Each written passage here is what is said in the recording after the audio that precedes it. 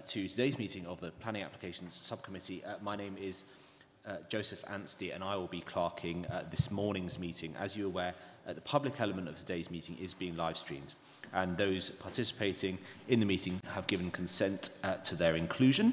The recording will be available on the City Corporation's YouTube channel following the meeting and it shall be retained for up to one civic year.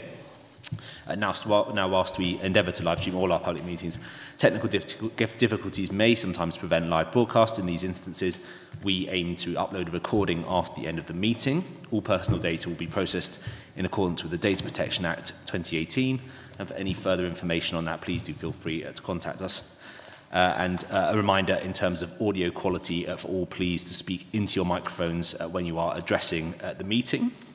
Uh, without further ado, then I will hand us over to uh, the chair for today's meeting, which is uh, Mr. Graham Packham. Good morning, Chair.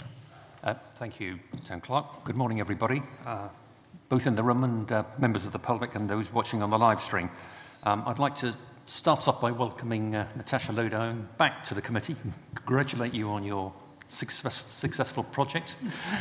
and uh, I'll just like to mention that uh, about 12 noon we will have a short comfort break. Um, So I think N Natasha will uh, doing some maternal uh, activities then. Uh, right, uh, 10 o'clock. Uh, apologies.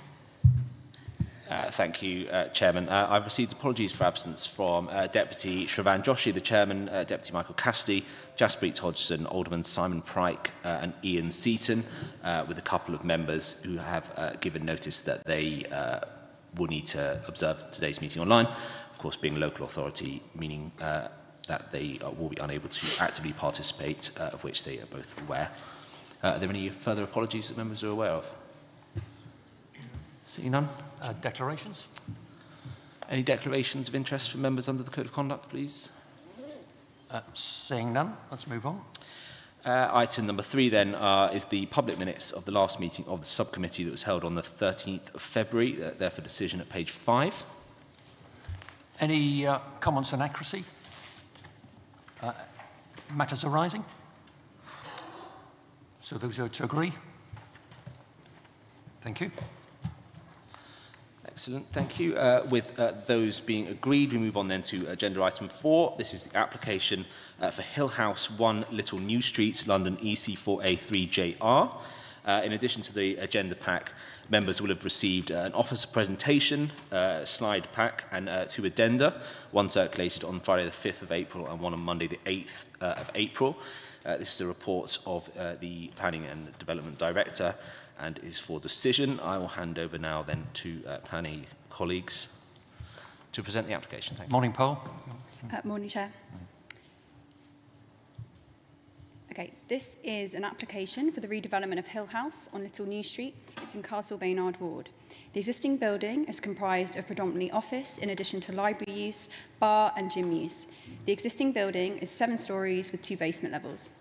The application here today is for the redevelopment of the site to provide a tall building of ground plus 18 stories. The existing basement slab at basement level 2 is proposed to be retained alongside perimeter walls and the remaining structure would be demolished. This is the existing and proposed site plan uh, showing the surrounding context with Little New Street to the north, Wine Office Court to the south, um, and Fleet Street is located further to the south. south. Um, there is residential nearby, including at Pemberton House um, and at Wine Office Court. It's important to note there is a significant level change across the site from east to west. Just for a bit of heritage context, the site is not within a conservation area and is not listed. The Fleet Street Conservation Area is located nearby to the south, um, and there are a number of listed buildings nearby as well.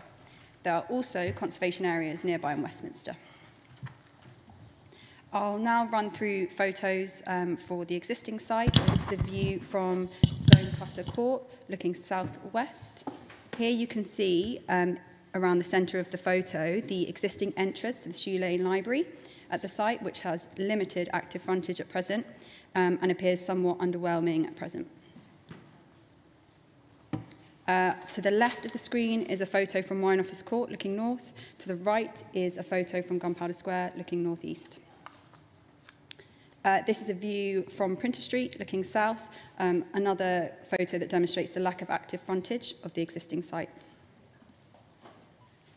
Uh, this um, is, our photos of the existing city walkway. So this run through the centre of the site, running from north to south. Um, it's currently underused and an unattractive route.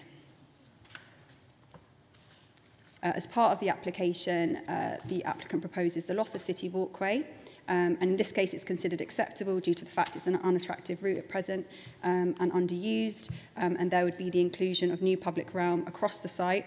Overall, that would be an increase of 52 square metres. Um, so there's no overall loss in publicly accessible space.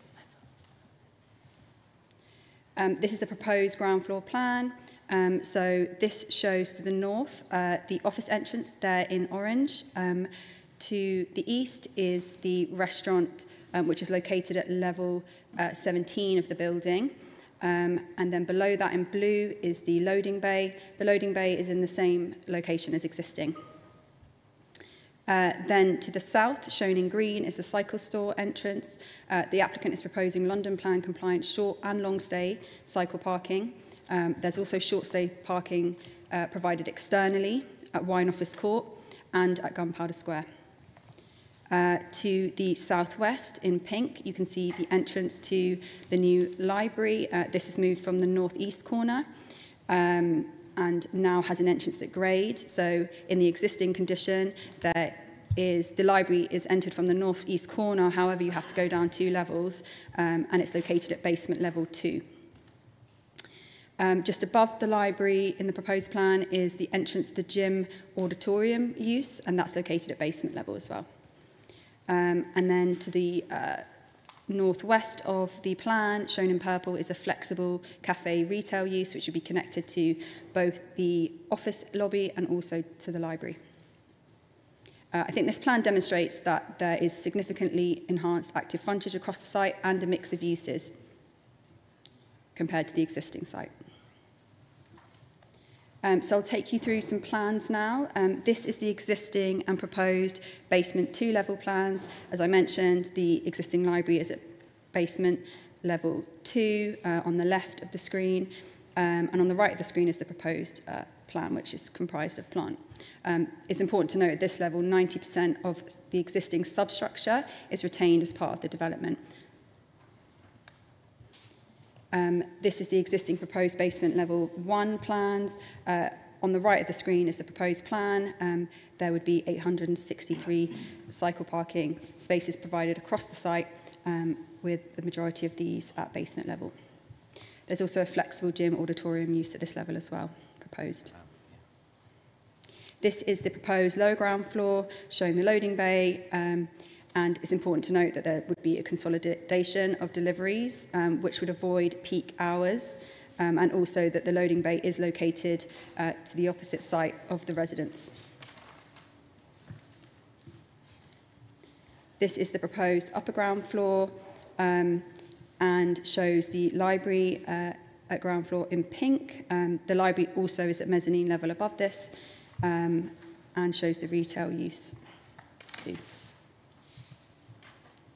This is the proposed upper ground mezzanine showing the library. Um, it's important to note there are two platform lifts from ground floor to uh, mezzanine level um, and the cost of maintenance of these will be covered by the developer and secured in the section 106. This level also shows to the right of the screen in lighter pink uh, the flexible, affordable workspace library use proposed by the developer, uh, which the libraries team would have the opportunity to operate and secure sustainable income from. Um, just going back one level, actually, uh, just back to upper ground floor, uh, this also includes the provision of a changing places toilet, which is a larger accessible toilet with additional equipment. Um, there's understood to only be one of these in a venue in the city at present.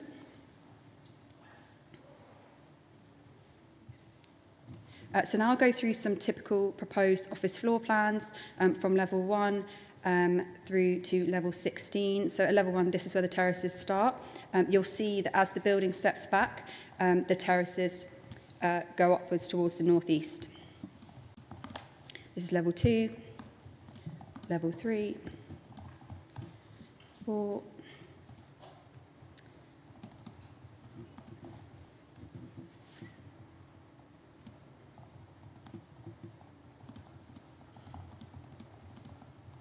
So when you get to proposed level 17, this is the proposed rooftop restaurant, um, which is accessed from Shoe Lane. Uh, this is proposed level 18. So this uh, in blue shows the office amenity space surrounded by a larger terrace.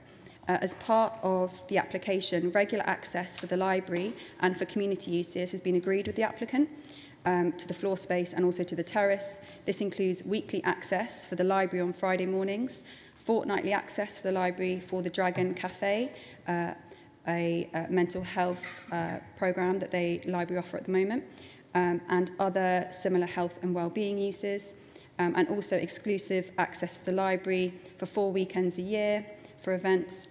In addition to that, there'll be 22 weekends of the year for the library or other communi community-related activities as well, and this would be secured through the Section 106.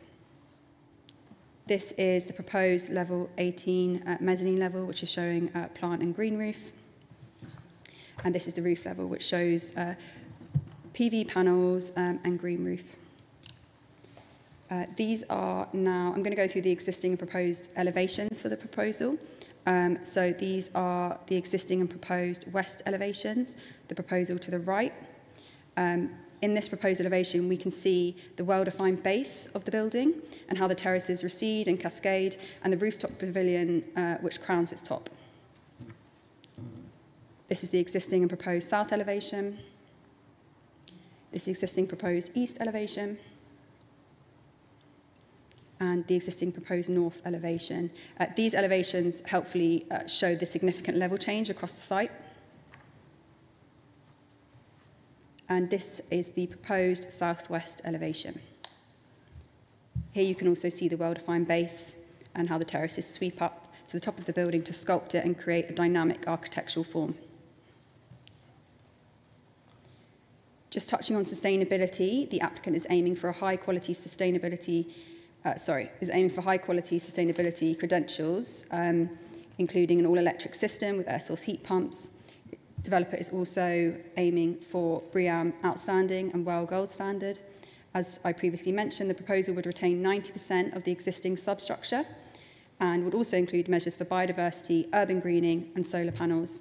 Uh, there would also be approximately 28 trees proposed across ground at the site, um, in addition to the significant greening on the terraces, which you can see here in the photo, in the visual, sorry.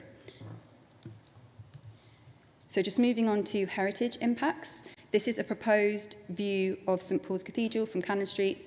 Uh, this demonstrates, it's quite far in the distance, but this demonstrates that Hill House would be almost entirely screened by the implemented scheme at 120 Fleet Street, um, and Hill House would not be visible to the naked eye behind 120 Fleet Street. This is an exist existing river prospect view. Um, it's an LVMF protected view. And this is the proposal. I'll just flick through again, back and forth. This is the existing. This is the proposed. In this view, we can see the development in the middle background um, in the existing tall buildings at New Street Square. The attractive sweeping form um, and well-articulated elevations would offer a new, high-quality piece of architecture with a skyline presence that would complement the varied layering of the townscape in this view. This is an existing view from the Strand, um, and this demonstrates the impact to St Mary Le Strand, a Grade 1 listed church in Westminster. This is an identified view in Westminster's uh, Views SPD. So this is the existing image. This is the proposed. I'll just flick through again. Existing, proposed. Um, its form and massing is not considered to challenge or undermine the principal architectural features of the church.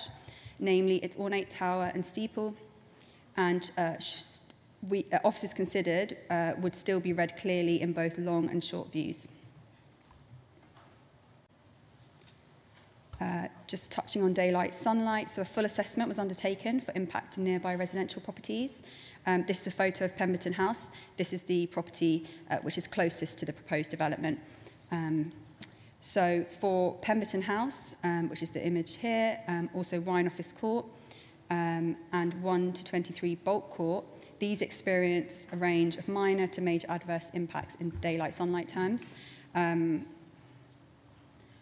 the applicant also submitted some radiance modelling uh, for Pemberton House, uh, which is closest to the site, and here's an example from the first floor level, showing existing to the left of the screen and proposed on the right, Uh, the results demonstrate the extent of change um, and that levels in the existing condition are quite low with minor changes in the proposed um, and it is considered this unlikely to alter the use of the rooms.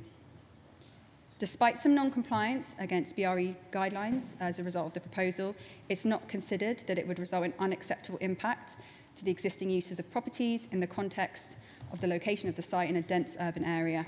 In addition, officers uh, uh, requested an independent review was undertaken um, and that concluded that results are not considered unacceptable in the urban context. Therefore, uh, they're not considered to uh, conflict with local plan policy in this regard. So I'll just go through some visuals of the, screen, of the proposal. This is a visual looking northeast. Another visual showing the terraces. this is a visualization of uh, the library entrance at the Gunpowder Square. Again, this is a Gunpowder Square looking at the library entrance. So, to summarize, the benefits of the proposal are that it would deliver 57,000 square meters of much needed, best in class, grade A office space, accommodating some 3,000 employees. It would contribute to the continued resurgence of the Fleet Street area, very much a focus of new quality, new quality office floor space. Over 860 long and short stay cycle parking and consolidated delivery strategy with off-peak servicing. It would provide a unique architectural response with cascading stepped greened landscape terraces. It would re-provide the Shoe Lane Library with enhanced facilities, flexible, affordable workspace, public toilet facilities, including a changing places toilet, and a more prominent entrance, um, and also includes exclusive managed use of the level 18 amenity space for the library and community events, offering outstanding views of the city.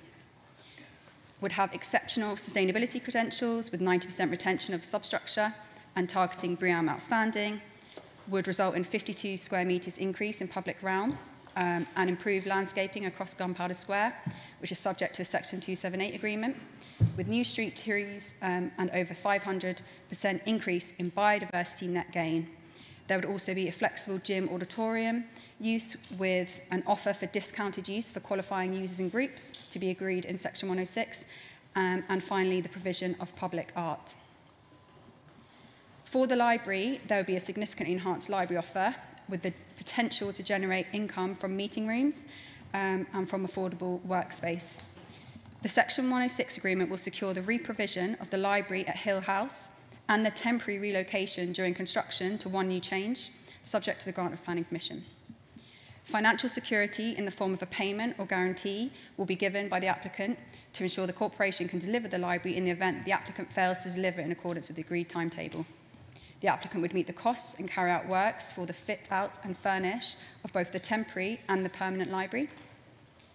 New lease terms would include a peppercorn rent throughout the 65-year term with a reasonable cap on service charge to be agreed with better commercial terms than the existing lease, or to be negotiated in the Section 106. Therefore, to conclude, it's the view of officers that the proposal complies with the development plan when considered as a whole and that material planning, condition, uh, sorry, that material planning considerations weigh in favour of the scheme. Therefore, it's recommended that the planning permission is granted subject to all relevant conditions being applied and Section 106 obligations being entered into and a Section 278 agreement in order to secure the benefits and minimise the impacts of the proposal. Thank you. Thank you, Paul. Sam Clark, can you just explain the next part of the process?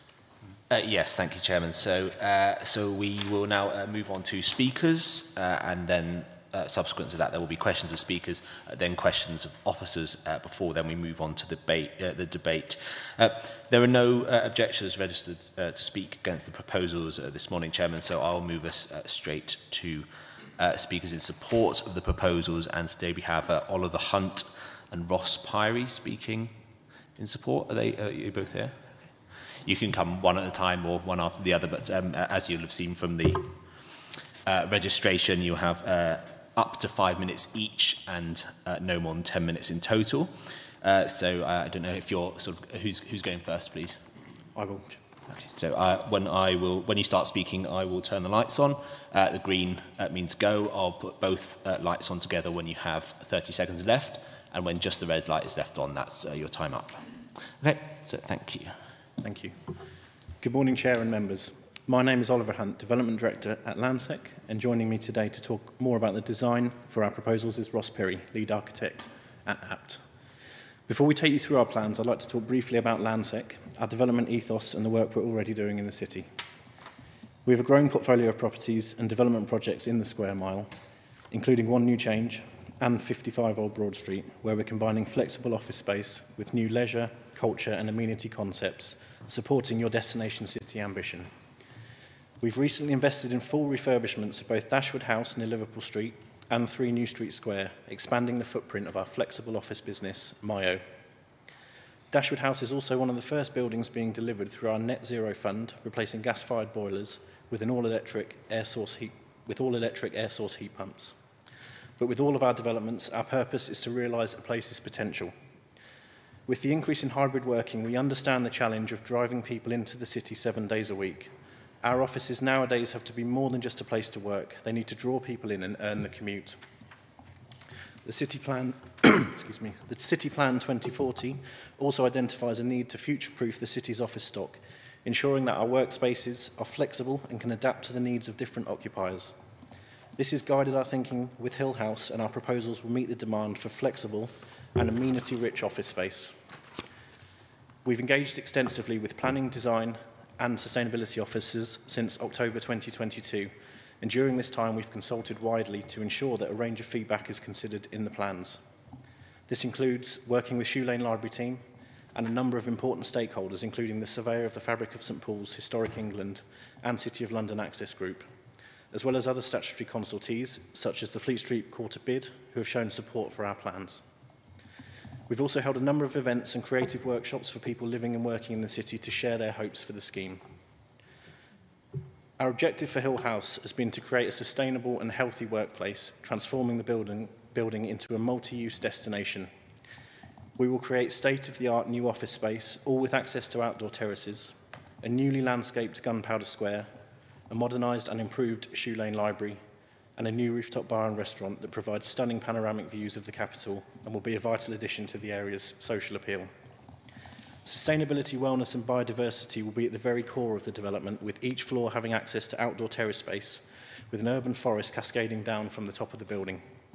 We'll also revitalise the areas around the building with green spaces for the public to enjoy and improvements to pedestrian access around the site.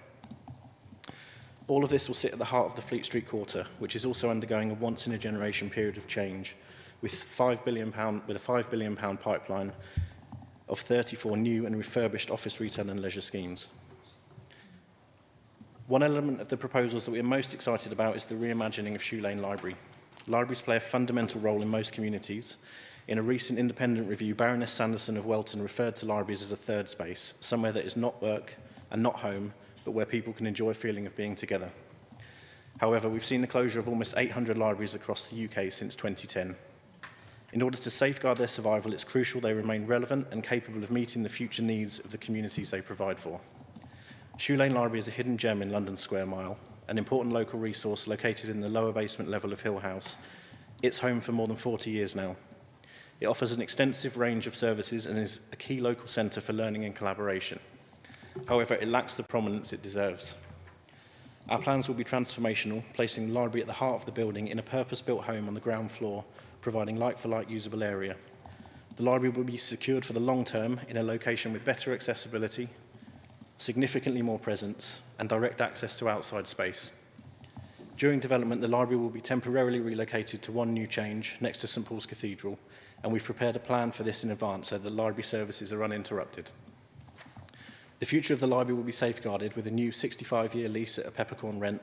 It can also benefit from the income generated from the additional flexible workspace adjacent to the new library and will have access to the roof for events and activities.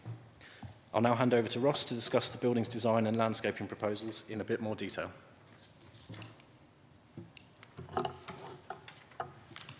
Thank you. My name is Ross Perry and I'm the lead architect for Hill House. At APT, we're an award-winning studio with recent successes in the City of London, with our Urban S City project winning City Building of the Year, as well as being shortlisted for an RIBA award. Our commercial office scheme in Westminster, the Earnshaw, has also recently been shortlisted for the upcoming BCO awards.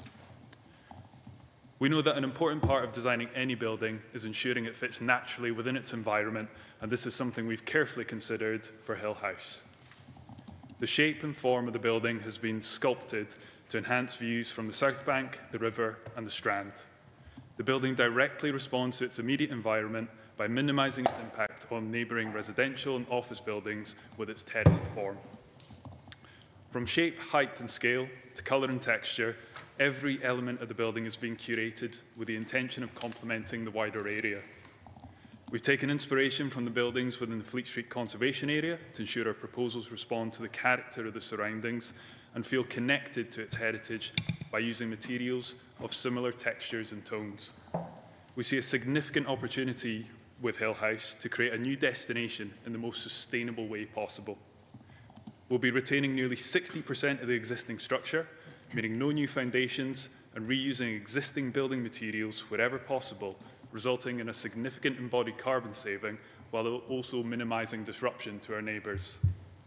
We're aiming for Hill House to be best in class in terms of environmental and sustainability targets, and we've devised a specific sustainability strategy for the scheme. This includes an innovative facade system that is efficient, lightweight, and reduces energy use, and this includes openable vents for natural ventilation We're also exploring cutting-edge material opportunities, such as repurposed steel columns that have been salvaged from North Sea oil rigs, as well as sustainable cement replacements that will significantly reduce the concrete frame's embodied carbon. We're looking towards ambitious biodiversity and urban greening targets. All occupants will have access to green terrace space at every level to promote health and well-being. And significant planting will create a vertical forest that cascades down the building hosting wildlife and improving biodiversity, in particular at Gunpowder Square, where a number of new trees, planting and benches will create a high quality area of public realm for all to use. Library users have also been at the front of mind during the design process, with many of them inputting into our vision for the new library space. We've also worked closely with a fantastic team at Shoe Lane Library, who we'd like to extend our thanks to to ensure plans capture their expertise and passion for libraries. We've held design workshops and site visits to other libraries for inspiration, and this will be a continual process to evolve and refine the library's plans. We're also delighted that Baroness Sanderson will be joining us for a one-night book club on the future of libraries next month, alongside a range of expert contributors. If I could just finish by thanking the Chair and fellow committee members for your time today um, and officers for their dedication and challenge during the design process. Landsec, as an organisation that is heavily invested in the long-term sustainability of the city, understands that for it to thrive, it needs to respond to the needs of those that work and visit here with the needs of those that call the city their home. We believe the scheme before you today successfully responds to those needs. Your officers have concluded that our proposals would optimise the site, delivering a transformative new mixed-use destination for the area. We hope that you agree and can support this application. and we'd be happy to take any questions that you may have. Thank you. Thank you. So, uh, question for members. So, start with John. Uh, thank you, Chairman. Yeah, well, first, just like to make a comment I heard about the um, reuse of uh, pieces of oil, oil rig. So um, I think that's an excellent idea, and there'll be lots more of that metal coming off oil rigs, I'm, I'm sure. So I've got two questions, both relating to the library. Um, um the first one, I think is pretty obvious, but you mentioned there's lifts um, joining the three levels of the library, it just wasn't quite clear from what we read that, that they were lifts for the public. So for you know, wheelchair, for, for example, not just lifts for the librarians to move books. So that's one question. And, and the second one is, um, in our notes um, on page 110, it, it, it, it mentions um, incidental play features will be part of the public realm design, which, which is an excellent thing. I like that very much. I wasn't sure where that was going to go.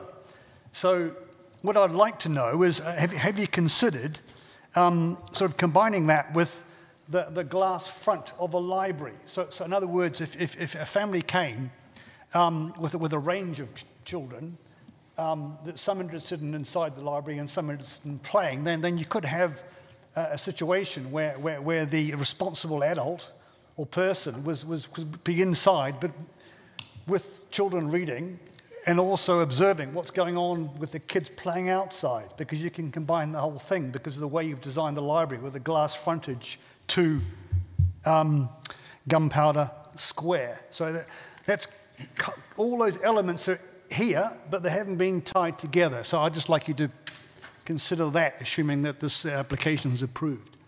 Thank you, Chairman. If I could just respond to the, the, the second question. Um, we intend to bring forward a, a public art strategy which we um, will work with local communities and the city um, to formulate. Um, in terms of incidental play features, we absolutely see those forming a part of Gunpowder Square externally so that they can interact with the library space. Um, you're right, the, uh, the, the, the library garden space immediately outside um, it, it is, is, uh, has natural surveillance from the internal space of the library. And there would certainly be an opportunity, I think, to link the two um, with the public art strategy as well. In terms of library lifts, there are two um, lifts within the library space that are uh, entirely for public use. There's a separate goods lift um, for transporting the library's uh, books and other equipment um, separate to those two. There's also a further uh, backup lift in the cafe space, which is linked to the library at ground floor level and mezzanine level. Oliver, Uh, thank you, Chairman, um, and thank you uh, to the Landsex team and the architect for uh, their presentation, which is very helpful. Uh, I must say, I think the uh, proposals are very uh, attractive and, and a substantial improvement on um, what's there on so many levels, uh, the aesthetics, the ESG factors, uh, the quality office space and the library, all of which get big ticks in my box. Uh, I do note that the, the mass of the building is, is substantially greater than that that is there uh, at the moment. Uh, and really just for the, for, to the architect, um, wh why did you sort of land on that size, particularly that height? Why not go two floors higher uh, or two floors lower? Um, thank you. Cool. Yeah, an excellent question. Um, So the, the height, scale, shape and form of the buildings all been designed, uh, taking into consideration views from Cannon Street, the South Bank, as well as um, you know, views from Westminster. Um, so working with our townscapes consultant and the wider design team, um, that's the most appropriate scale for the building. It means that we're technically invisible from Cannon Street, which was effectively the limiter of height um, for the, the building, And then the rest of the scheme has been sculpted to create a dynamic and articulate form from the South Bank as well as Strand. Thank you. Brendan. Uh, thank you, Chair. I would like to ask a uh, question about cycle parking. Uh, so we're expecting 3,000 employees to uh, be using um, the building. Uh, a significant proportion of those people may arrive uh, on a bicycle. Now, I've noticed in other major developments, we have lots of uh, internal bike parking. It doesn't actually get used as much as the external bike parking in terms of the e-bikes that people rent. And uh, on a recent visit to the site, I, I noticed that Wine Office Court was just completely congested uh, with uh, rental bicycles. Could you bring some clarity uh, on how we're going to uh, deal with that? Perhaps uh, some of the internal storage could be accessible to people leaving their e-bikes and then picking them up again? Is there, is there any plan around that? I'm very concerned about some of the beautiful public realm you're talking about just being completely littered uh, with e-bikes.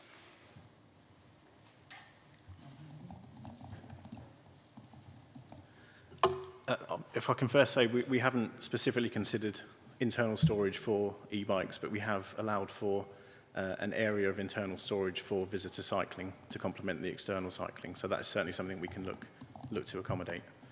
Um, but I agree with you, they are becoming a bit of an issue around the site. Um, we manage all of our buildings um, and have 24-hour security presence, which I hope will, will alleviate that, um, albeit um, if we can accommodate them internally, that is something we'll look to provide. Uh, Mary? Uh, thank you, Chairman. Um, yes, as a member for Castle Baynard and also Chair of Port Health and Environmental Services, I'm absolutely delighted to see this proposal. I think it's excellent um, and I'm not surprised there are no objections. Um, on page 38 at the bottom, it talks about the changing places toilet, which I think is um, an excellent idea and, and very welcome. Um, certainly on Port Health, we spend a considerable amount of time talking about the provision or lack of provision of public toilets in the city. And, and this is good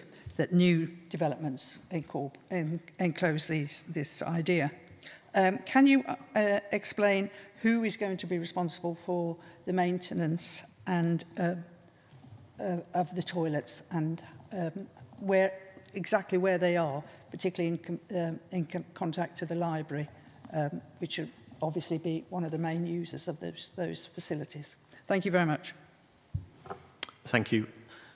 The Change in Places toilet will be located on the ground floor of the library, so that in, in, in one of its most accessible locations. In terms of the ongoing um, maintenance of the Change in Places facility, that will be the responsibility of Landsec. Um, the, the Change in Places toilets can typically be booked um, or uh, somebody may have a particular key that can access that space. So during library hours, that should be entirely accessible to those that need to use it. Thank you. Thank you. Deborah? No, no. Uh, Natasha?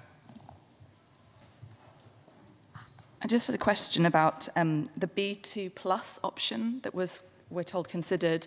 Um, that option I, we see on page 92 um, is described as something which would have caused problems with regards to achieving the improvements, improvements to the ground floor. Um, it says B1 and B2 plus. I just wanted to understand what, when you did the designing of those options, which contained a lot greater refurbishment and obviously had a, a, a much reduced whole life carbon impact. Um, what was it that was able to be at the ground floor? Could you just help us with what the design was for the ground floor in relation to that so that we understand what it was that was not possible to do at the ground floor in relation to B2 plus?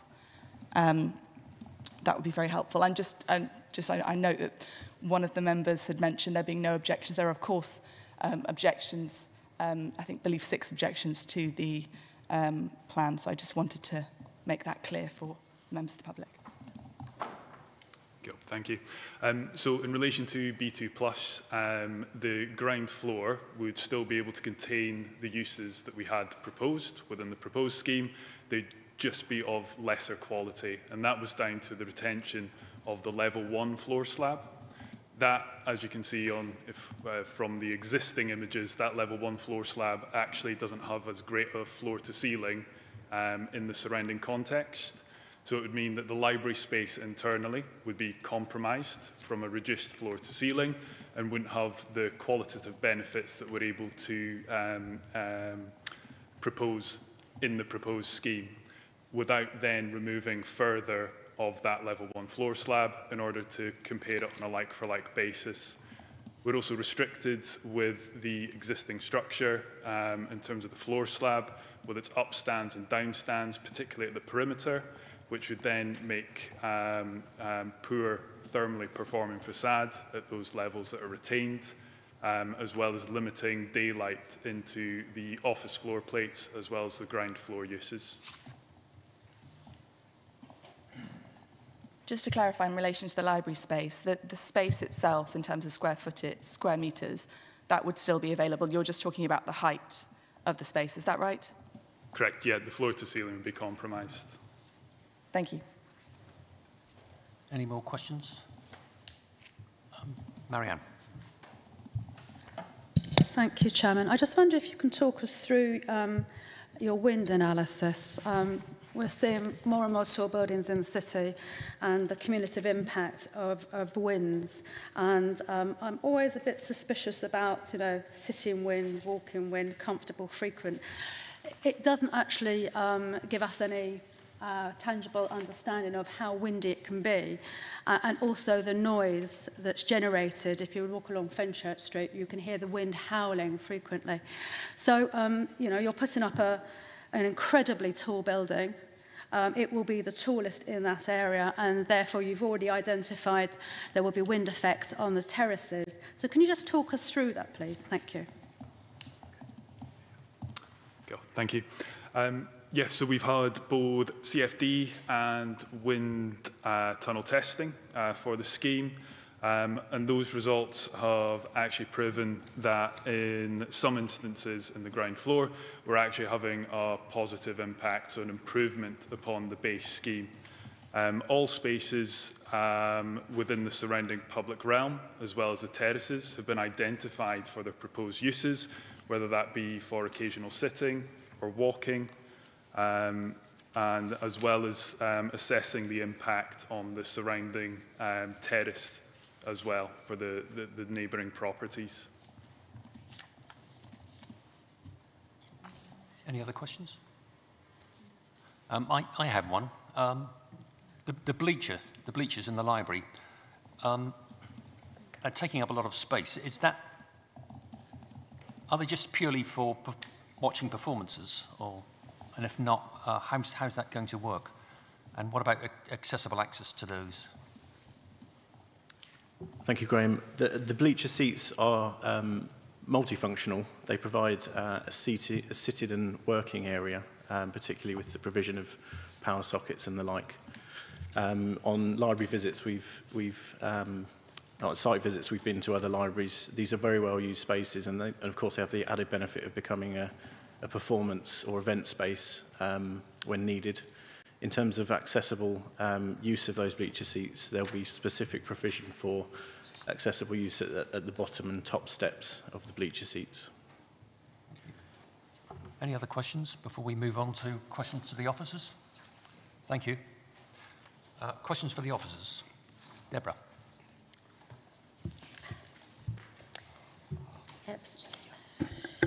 Thank you. It's, um, I note that there are public benefits in the application, library, cycle area, retail spaces and the landscape terraces. Uh, following the committee's recent experience of public benefits being removed, for example, from the Newgate Street development, where public access to a roof terrace has been uh, removed without the case returning to the Planning Committee, how can we be confident that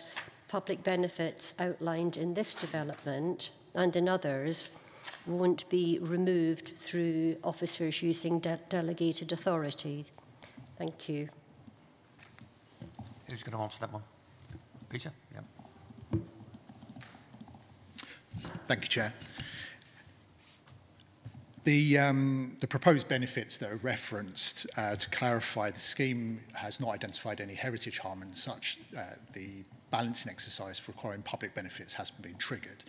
So the proposed uh, benefits that have been uh, uh, referred to uh, comprise policy requirements, in terms of the reprovision of the library, the cycle parking, the public realm, and so on. Uh, and the roof access is considered to be uh, commensurate with the reprovision of the library itself.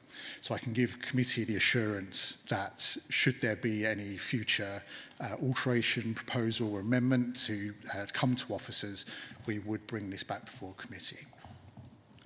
Um, could, could I just add that, um, I mean, these things like the library provision and the facilities are red lines.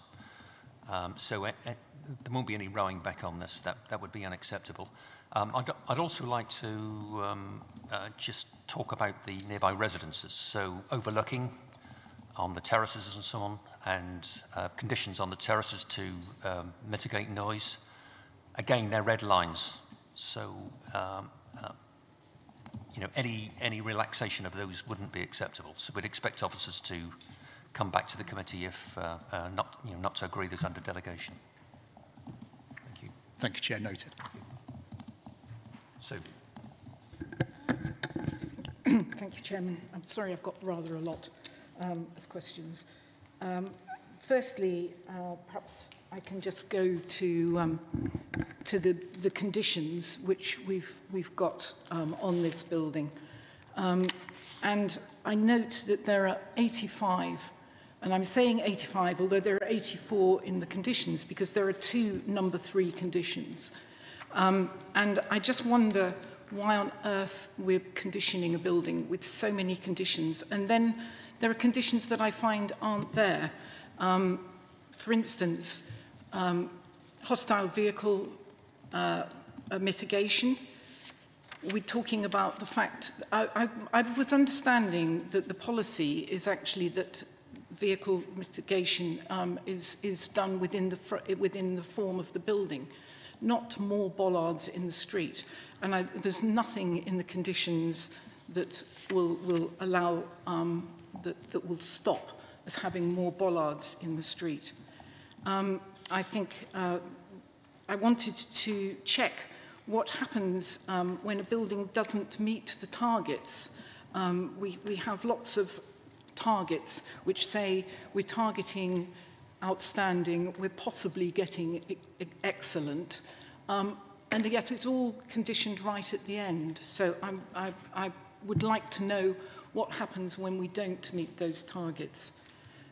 Um, another question, and which is probably the, the I think it's for our chief planning officer.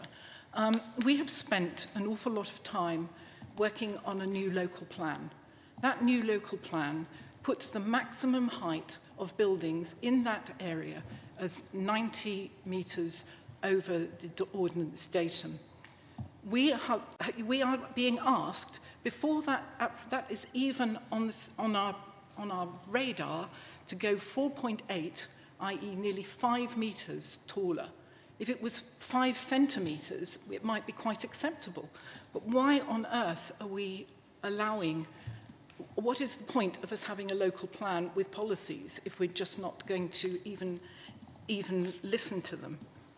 Um, sorry, that's, that's just...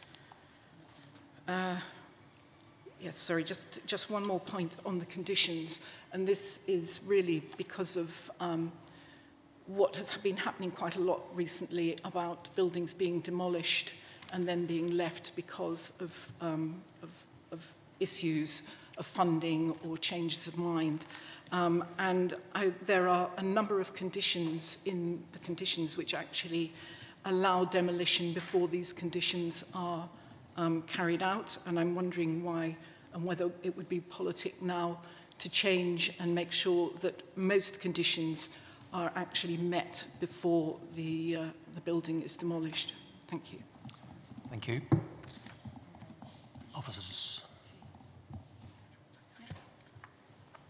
going to answer the question about HVM first. Um, so there is a condition within uh, the report and the papers, um, condition 28. Could you just into the microphone? Oh, sorry, sorry. Uh, condition 28, as referenced in the report, uh, requires the development to incorporate such measures that are necessary within the site to resist structural damage arising from an attack uh, with a road vehicle or road vehicle-borne explosive device. Um, and those details must be submitted to uh, planning and approved. Um, in addition, within the uh, section, sorry, the heads of terms section of the report, um, it outlines the various works that will be agreed as part of a Section 278 agreement, which includes the removal of redundant bollards, which is to be agreed later through that agreement.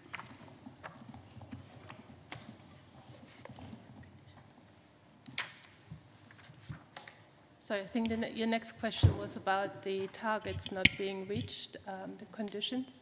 Do I have to switch anything? Can you hear me? Yeah. Yes, yep. Um, the uh, questions about the targets um, that are conditioned. Um, the,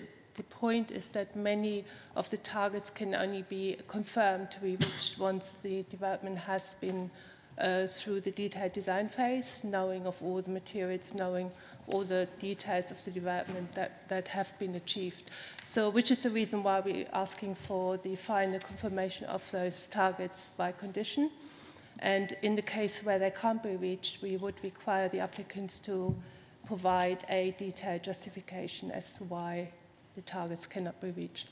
But that happens very rarely in reality. Thank you. the, on the height of the building and in relation to the emerging um, local plan, we understand the point.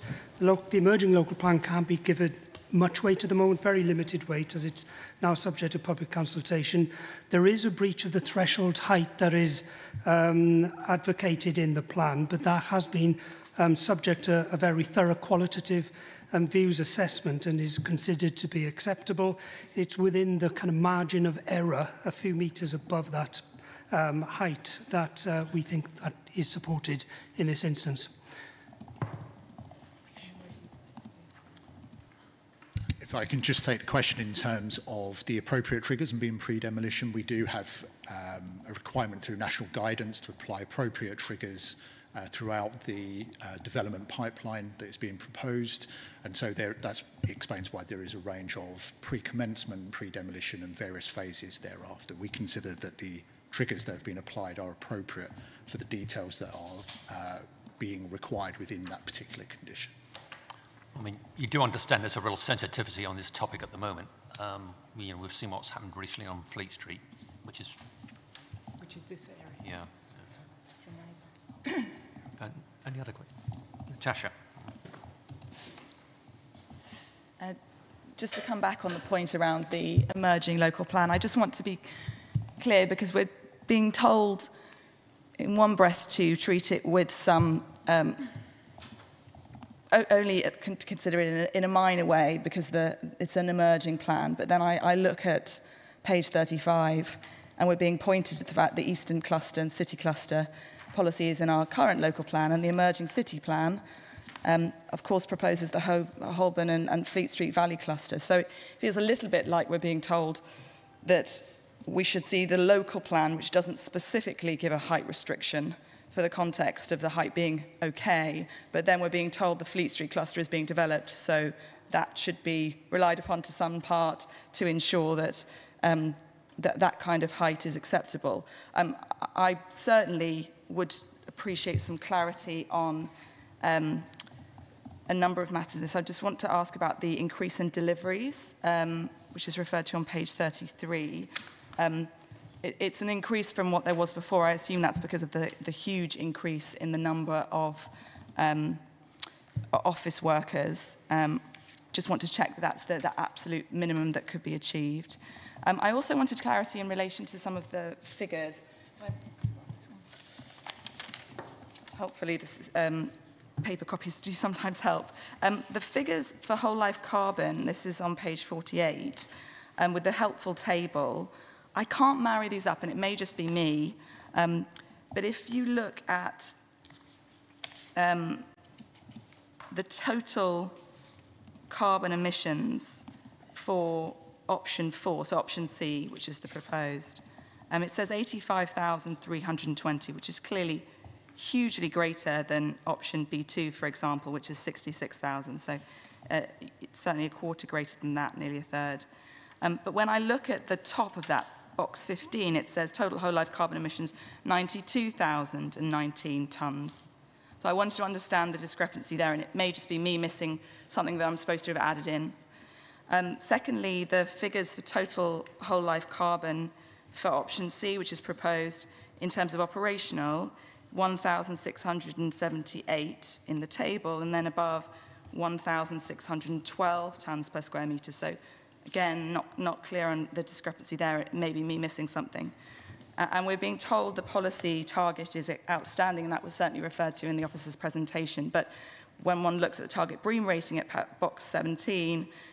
it says policy target excellent or outstanding, and although outstanding is circled brightly in pretty green, excellent, sounds like it's also the policy targets. I wanted clarity on the policy target absolutely being outstanding and that just being an error to include excellent there, and also the discrepancies in the figures um, there. Um, and then I, there may be some questions to follow on from that, but that would be very helpful.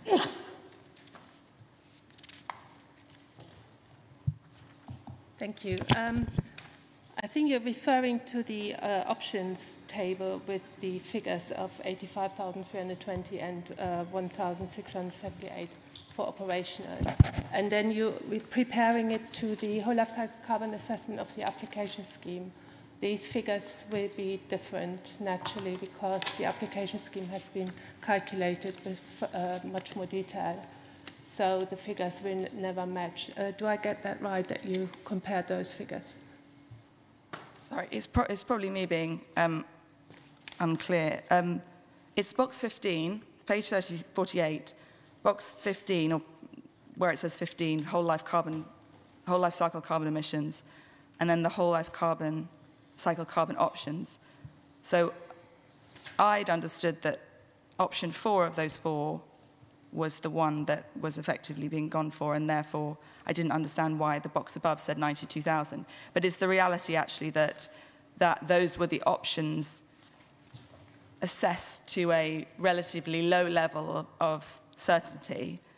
and that since then the figure is revised given the greater clarity having decided upon effectively option C.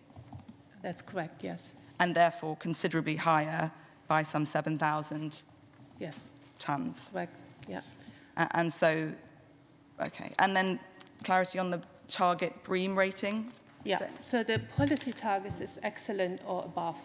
So we probably should have said excellent and above in the fact sheet and not excellent and outstanding.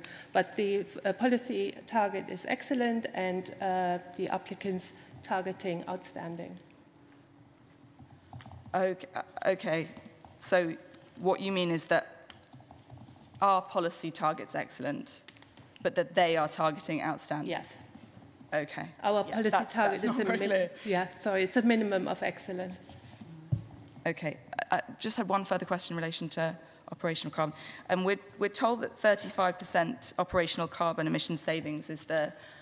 um, the GLA um, figure that's sought, and that that is um, understood to be something which is, which is not necessarily straightforward to be achieved by commercial buildings.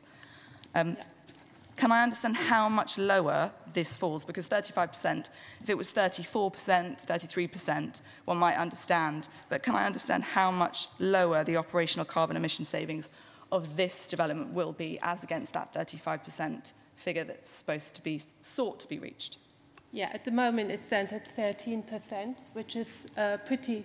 Sorry, was it 30 or 13? 13, 13%. Okay. that which is uh, from the recent uh, cases uh, that have been approved in the last year. say It's about average 13%, and that, that is because of the more stringent Part L 2021 uh, regulations that have um, reduced the ability of commercial developments to perform to their targets, but the GLA uh, is expecting that to improve very soon, so during the, the, the next few years sorry, just that's the average of what we as a council yes. have approved. Yes. when you look at the, say, all the uh, major applications we have approved in the last year, say, since the uh, adoption of the Part L 2021, um, most schemes achieve a, a figure around 10%, some below, some slightly above, depending on the mix of users.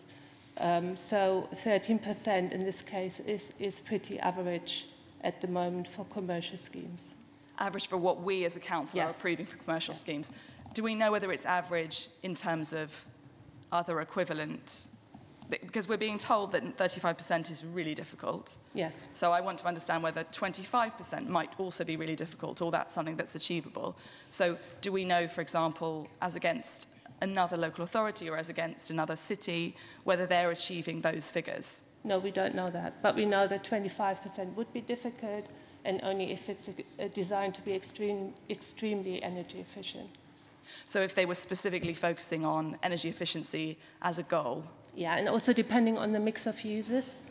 Where, where you have a hotel or residential use, for example, they are classed as residential, so for them it's much easier to achieve the 35 or even exceed the 35 target. Thank you. More questions? Deborah? Uh, it's possibly already in the paper somewhere, but on page 104, when we're talking about um, including in section 106 what the public access hours are, could somebody please just, just confirm with me what the uh, public access hours are likely to be? Thank you. Uh, thank you. Is that in regards to the library? or the rooftop or both? It says um, library, community use and educational. Yeah. Um, so as part of the 106 package, um, the library would have access to uh, the rooftop amenity, on level 18, um, and that includes the terrace and um, internal amenity space. Um, they would have access on Friday mornings. Um, they would also have access fortnightly uh, for the Dragon Cafe provision that currently operates there. Um, in addition, four times a year, um, the library would have exclusive use from Fridays to Sundays as well. Um, in addition to that, 22 weekends a year would be available for uh, community groups um, and library access as well. Um, sorry. Uh, Brendan first, then you, Natasha. Sorry. Um, thank you, Chair. Um, officers, could we go back to the picture that showed uh, St Mary Le Strand? Um, I think it showed an existing, uh, and then proposed. I mean, we just have a look at that. Um, that looks like a pretty significant um, change to me, and I can understand why Historic England and the City of Westminster Council um, said that that is causing harm uh, to the Grade 1 listed um, St Mary Le Strand. Can, can we know a bit more about the discussions? uh, that went on with the applicant. Has that reduced to get to where we are in terms of the existing and proposed? Uh, can we know a little bit more about uh, the process that got us to this, to this point?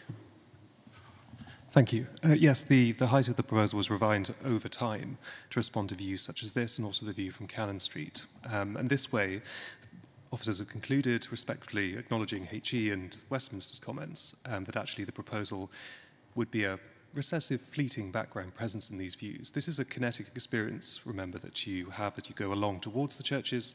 They would hold their own in the foreground at all times. Natasha. Um, actually, on the historic England point, um, it might just be me, but I was looking through the papers and I've, we've got all of the objections from individuals. But historic England, mm. although factored in to the response of city officers to what Historic England has said.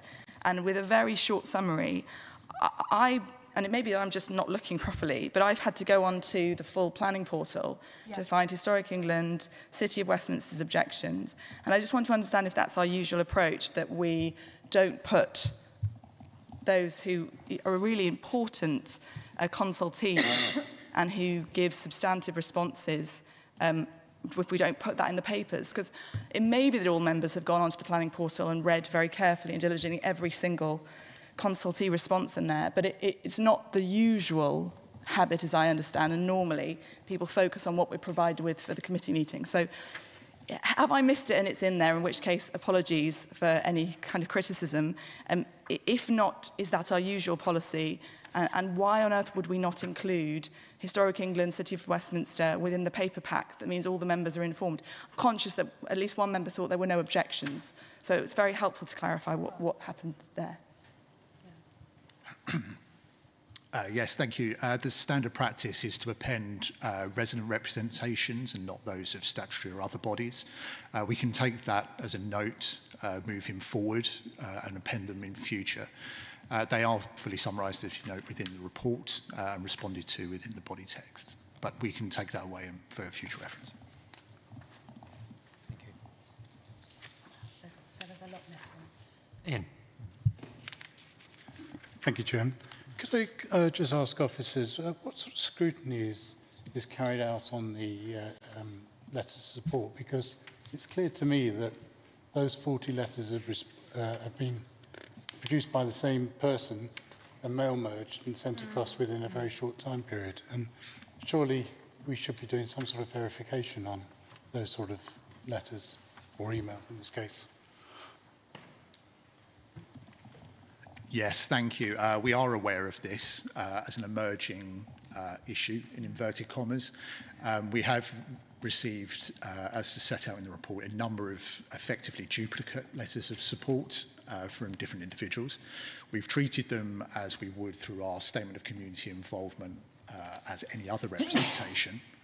uh, and have acknowledged them and have notified them of committee.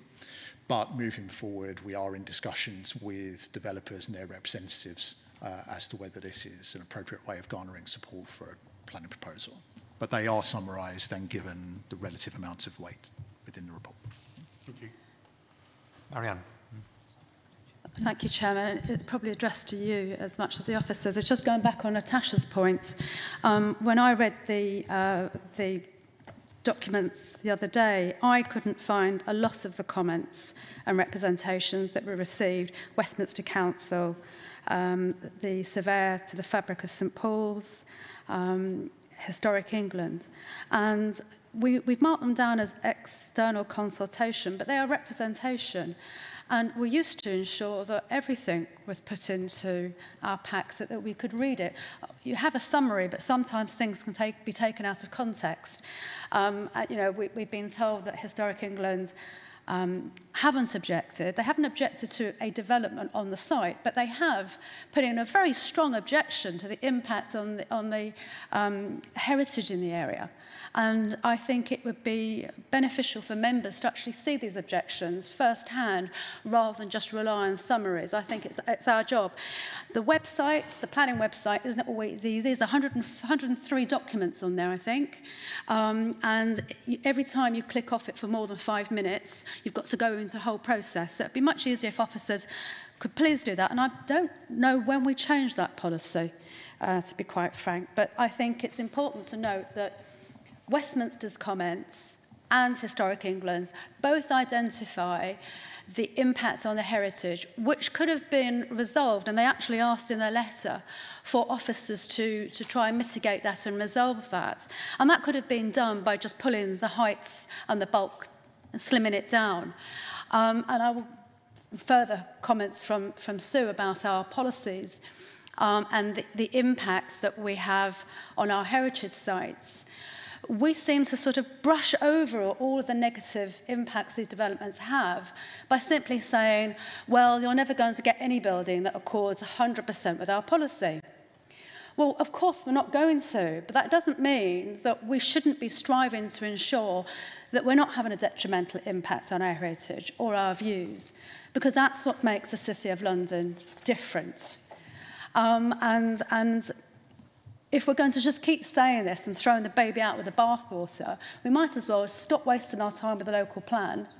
save officers time and money, and just allow developers to do exactly what they like. Because officers could have reeled that back in to make it completely acceptable and, and mitigate those impacts on heritage. And I can't see in there any correspondence apart from the applicant who responded to Historic England and St Paul's uh, with their views of the comments. But I can't see our officers actually trying to say to developer, pull it back and not have that impact. I can't see that in the, in the documentation on the website. So the question is, uh, the question is, I think you want the, the statutory consultees, there in future papers, their, their uh, uh, comments included, rather than members having to sort that. And I think that's a reasonable request, yeah. So I think we can just take that, that forward. Any other questions for officers? Uh, Sue. Sorry, I just missed one on the daylight and the effect on um, on the, the residences. And I noticed uh, in um,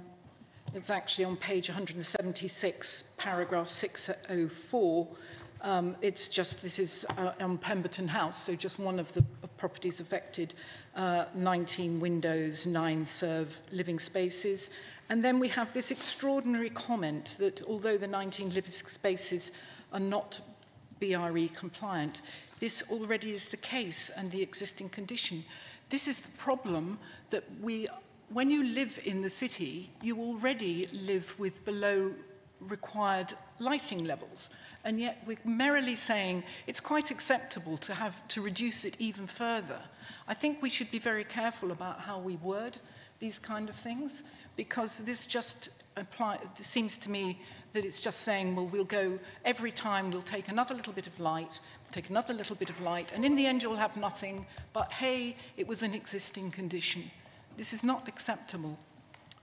Um, Thank you. Could we just talk about right to light and what role it plays in, in, the, in the planning decision. And I understand there's uh, a process that can happen outside. yeah, uh, so just to differentiate uh, daylight sunlight impacts, which are considered through the planning process, and then right to light, which is not a material planning consideration, is dealt with outside the planning process. But in terms of uh, the reference to the impacts to Pemberton House, uh, this was in relation to the fact that the major and moderate impacts are um, often seen because of the relative change. So there might be low existing levels serving uh, room, um, and a, a, small absolute reduction uh, would result in a percentage loss that would be considered minor, uh, sorry, moderate to major. So that's what that uh, uh, sentence was referring to.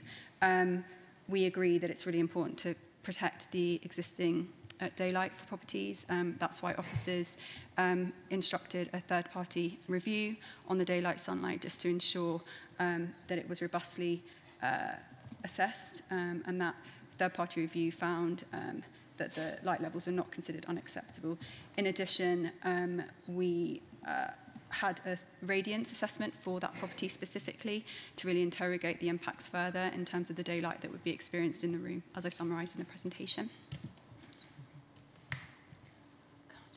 Uh, Marianne. Thank you. Thank you. It's on terms of the servicing, um, the, the increase in the deliveries and the assumed 98 trips, assumed if 50% is consolidated and 5% of all trips are undertaken by cargo bikes. We have a number of large developments around there already which have a lot of servicing. Um, I'm not sure that we've actually um, I have asked for a report on consolidation, how many of the applications that we've granted that had a condition about consolidation are actually consolidating. Um, because we know one of the, the, the biggest problems with our city is uh, the roads congestion. And we're now suggesting that um, uh, the delivery is outside, outside peak times, but there are residents there as well.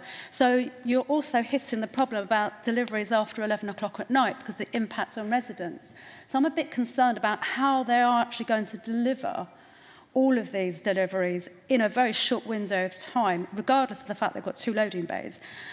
But more importantly, what happens if they don't? What's the mitigation measure? What happens in terms of the winds and the effect on winds, as we saw with the walkie-talkie, and we find out afterwards there is a problem?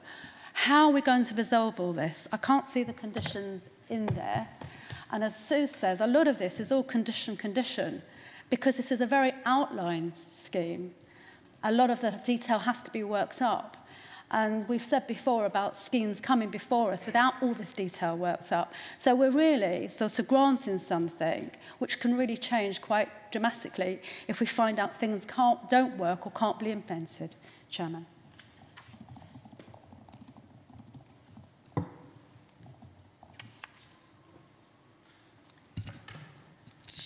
uh, Pearl is just looking through the relevant conditions. Just to take the, the last point, um, the service and management strategy will be refined through the further design considerations you'd expect a developer and their architects to go through as their occupiers come online and their requirements. The details will be submitted through condition and they will have to be approved by officers to be acceptable within regards to the particular location and the impacts uh, onto nearby residents and other uh, stakeholders and, and receptors, for instance. The loading bay here is located to the southeast of the site, well away from Pemberton House and other residents. Uh, the, the numbers that have been outlined in the report are the current predictions uh, that will be firmed up with greater detail through the submission of condition through the uh, service and management strategy, which is secured through the 106 in the heads of terms. Um, additionally, uh, taken to the point of if this isn't accorded with, or that would be a breach of the obligation in this case and would be prosecutable.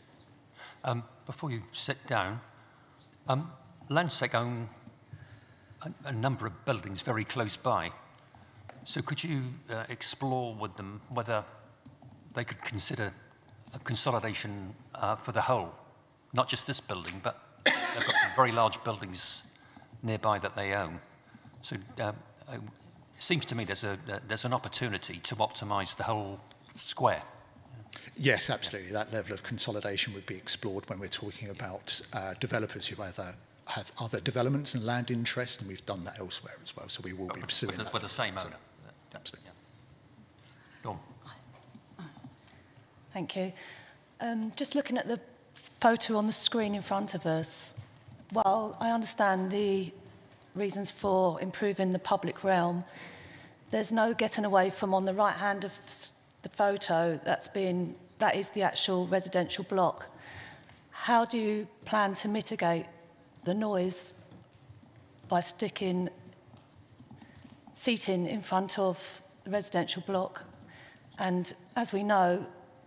voices do not travel and there's nowhere for them to escape to.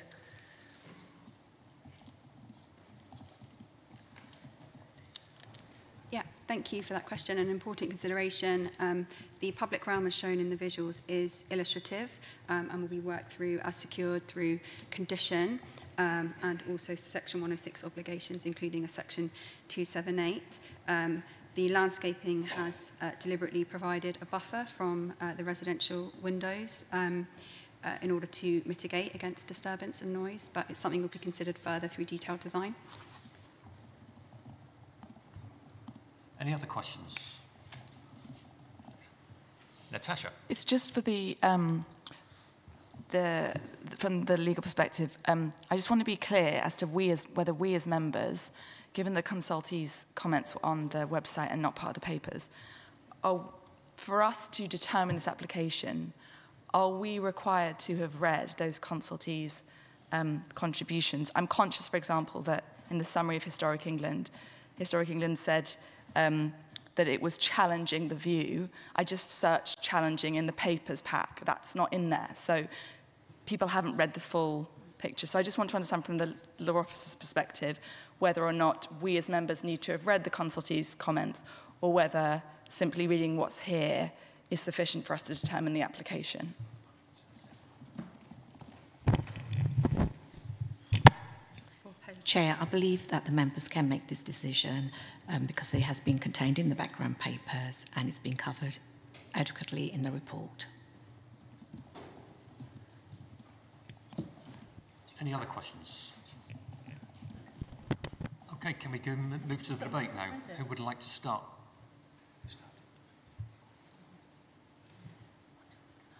going straight to a vote then? Someone should kick it off. Um, so,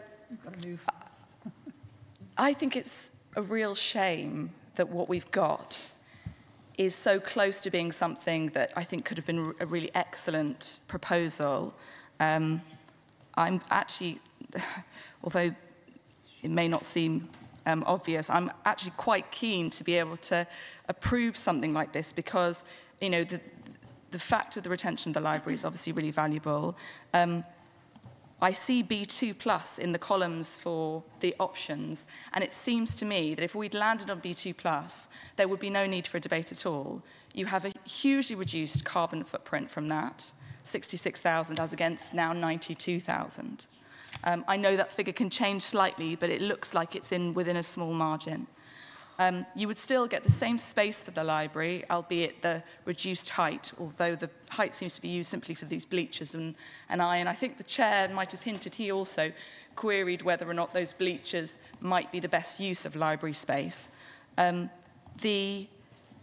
height of the building would have been 15 stories, 15 stories falling well below the 90 metres, which is the maximum our careful emerging plan after what has been four years or five years of debate around it, much longer than it should have been taking. And of course, that emerging plan is late because it should have been in two or three years ago. So we know that the, the difference between the local plan as we had it in 2015 and the emerging plan it is pretty stark and 90 metres was the maximum there. So if we'd had B2 plus, a, scheme arriving from that, um, it, it would have been a really welcome opportunity to update and upgrade that space, to increase the, the office blocks substantially to more than double what's available now. Um, and it would not have caused these problems in terms of height, um, and it wouldn't have caused these problems in terms of the, the national, uh, the NPPF to 2023's requirement to support transition to a low carbon future. I was very surprised to hear or to read that this is being proposed as something that supports that transition. Um, this, from my perspective, this block is being over-optimized. Uh, the reality is if we, if we mean anything by doing the whole life carbon optioneering um, policy and, and actually committing to transitioning to a low carbon future, we have to mean that where there's a concern or a balance, do we have lower ceiling heights in the library space, in this new library space? Or do we have 33,000 additional um, metric tons of, of, of CO2? The, the balance must fall in favour of us saying, well, well, no, actually, we can take a slightly shorter height for our library, um, and have a building that is much closer to refurbishment um, and massively reduces their carbon footprint. Uh, there's a use of the term holistic sustainability in the report, which seems to include everything else other than environmental sustainability. Um, I am of the view, because of those factors, that this is an application that, that, that shouldn't be um, approved and isn't something that we should support. And it's a real shame because I would love to see the, that library supported um, into a new space um, that's upgraded. Um, but as I say, because of the environmental impact uh, and also because of the height exceeding uh, the emerging plans, but also the, the impact it has um, on the sight lines, um, I, I don't feel I can. Um, I just want to quote from the uh, letter from Historic England um, because I think it's important, and I hope somebody might do it from the City of Westminster as well, um, that we're being told by the law officer here that Um, we don't need to have looked at the consultee documents on the website. Um, that means we won't have read this bit because I've searched through the papers and it is not summarised, this sentence, in any of it. Um, it makes the point about inkinetic views. In kinetic views looking east along the Strand, the proposals would appear in the background of the two Grade 1 listed churches to varying degrees. This would, they would fill the sky gap behind the churches, challenging their distinctive character and making it more difficult to read their skyline features. The pro proposals could therefore cause harm to the significance of the churches and the surrounding conservation area, running counter to the general experience as a newly landscaped, pedestrianised, public open space where the churches form focal points. When seen cumulatively with 120 Fleet Street, the development form a continuous built backdrop in these views, thereby increasing the proposed harm. In summary, the proposal for Hill House would increase the built bulk of the skyline over the river frontage as uh, seen in the LVMF views, and adversely affect the experience of the Strand Conservation Area and its listed buildings, especially on the processional route. Uh, it's really important that we think about those other areas. We're a, a tiny local authority, a tiny area. Um, I'm sure many of us spend as much time in areas like the Strand Conservation Area as we do in the conservation areas within our own um, square mile. Um, and it's having, according to Historic England, um, a significant impact there in terms of the built bulk. It, well, it's challenging their distinctive character and making it more difficult to read their skyline features. Um, that sentence around challenging their distinctive character doesn't appear to have made its way into the summary. So I thought it was important that members had that in mind when making this decision. Um, and I, I would suggest that unless members have read the City of Westminster um, letter as a consultee and Historic England, that um, that certainly we're not in the best place position to be making a decision on this because there are impacts here that need to be considered. Any other comments? Brendan, yeah. and then Marianne. Uh, thank you, Chair. So I um, agree with Natasha about the height and bulk of the building. I certainly have reservations about it uh, certainly is a significant heritage impact. On the other hand, on my site visit, um, I saw the wonderful work going on in Shulay Library and also the discussions that have been taking place about what will be a brand new library, um, a world-class library, is absolutely going to be transformational for the community. So we can't really see this uh, application in isolation without thinking about 120 uh, Fleet Street, which obviously uh, already been granted. So on balance, um, everything considered, I will be supporting this application. Marianne? Thank you, Chairman. I think uh, Natasha summed it up perfectly. Um, this could have been an absolute fantastic design. It's nearly there. It's, it's just the excessive heights and then the um, en encroaching onto those historic views and the impact on those heritage assets um, identified by Westminster and by Historic England. I, I personally believe that the architects and the developers could have found mitigation measures to reel it back So you could have had the, the public benefits of the library, everything else that goes with this scheme and not having that impact on our heritage. Uh, once those views are encroached, that's it. You know, you've got to wait another 100 years for these buildings to come down before you can get them back. Um, I think the, the huge amounts of increase in office space is such that just losing a couple of stories to, to pull back so that you don't have that impact wouldn't have been detrimental to the development or to the developers and, um, and profit margins either. Um, I am concerned about the increase in trips because, again, there's a lot of assumptions in this whole document. There's assumptions on wind effect, there's assumptions on the deliveries, the daylight and sunlight loss of the residential properties. Uh, we just keep chip chipping away. We have policies, but we just, as I said with that statement, You're never going to have um, one application according 100% with our policies. And with that, we just sweep everything away. I think we can do better. I think we should do better. Um, and for that reason, I won't be supporting it because, as I said, I think the developer could go that little bit further and have the scheme that fits every and ticks every box without having that detrimental impact. And I, and I do feel going forward we should be seeing all representation um, and, and not leaving it to summaries in our documents. Thank you, Chairman. Thank you. I mean, I'm, I just would add that I, in my view, a picture tells a thousand words. And when I look at those views from the Strand, personally, I think the impact is absolutely minimal. Um, um, you know, we, we saw it there before and after. Um, so in my view, I think the, uh, the harm is minimal. I think the benefits are so uh, significant that I will be supporting it. Uh, John. Uh, thank you, Chairman. Um, I'd just like to reiterate what you said. I, I struggled to see what Westminster was talking about. Um, it's a background, a tiny fraction. Um, on the other hand, I, I was a little bit worried that we just spend years on this local plan and break it immediately. But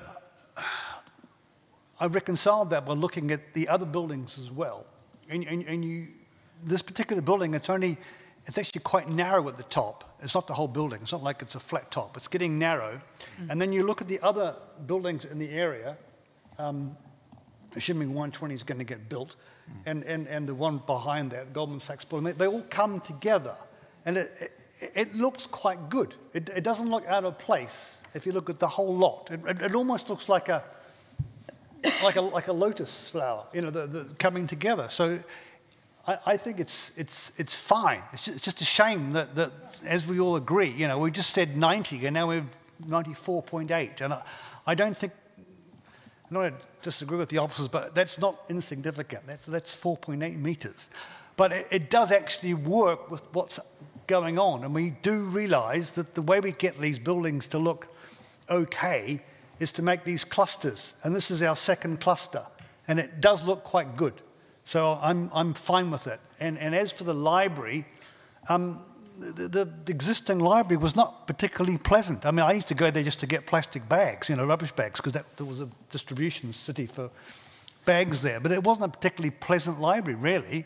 This, this new is going to be fantastic. Mm So I, I, I think this is great.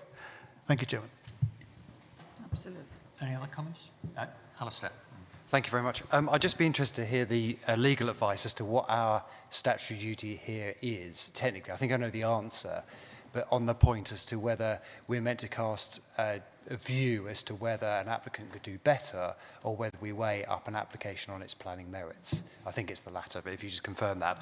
Um, my, my view is that um, this is an exemplary scheme, and the, the main reason for that is that um, the the other side of the coin to this whole carbon argument is that the proper utilization of space is the key thing here. We've got embodied carbon. We heard that 90% of the subterranean structure is going to be um, reused or retained. And like John, I mean, I can remember using this library for the last 20 years or so, but describing where it is, and the majority of people don't know where it is, it's just, we're being a bit selfish, I think, obstructing something where that can be revitalized and properly used. That is using an inordinate amount of carbon operationally and embedded for a space which probably a tiny proportion of people, despite our libraries, excellent libraries team effort, doesn't actually know that exists. So I think that alone, as has been alluded to by colleagues, is something which we should have, we should be throwing to the mix there. I also totally agree with the comments that have been made by some colleagues in relation to the Sir Mary Lestrand, it is an extraordinary argument that somehow stuff that's kind of going on at the sides distracts from what's kind of going up above and seeing what the form is of a grade one structure. I mean, it's, it's kind of, it's little insulting to think that one's vision is disturbed by things that are going on at the side, which as I said, is already disrupted anyway. So I think we should disregard those comments. And also, it's uh, fair to say that, as before, we've debated before, historic England particularly are not in a position to advise in relation to public benefits. Things like libraries, all the things this, this application is bringing to us, they are the government's advisors in relation to heritage. That's what they do really, really well. But they're not in a position to advise on all the other benefits here, which, to my mind, really tip the planning balance here for approval. Chairman. Thank you. Um, could we just take a 15-minute break? And uh, so back at um, 12.15, just slightly after 12.15.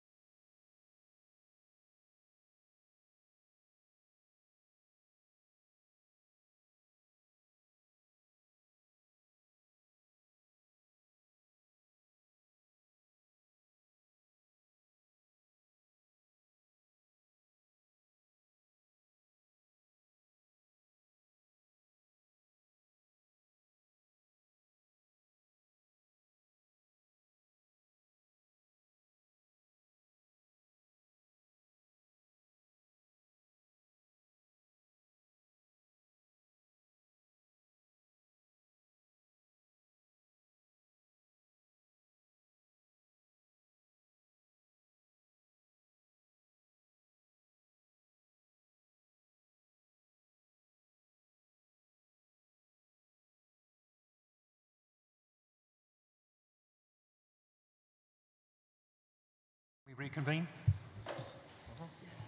Yes.